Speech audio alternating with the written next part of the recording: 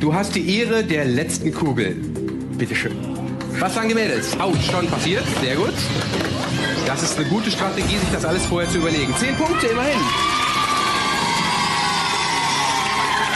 Und Marco, fünf Sekunden ab jetzt.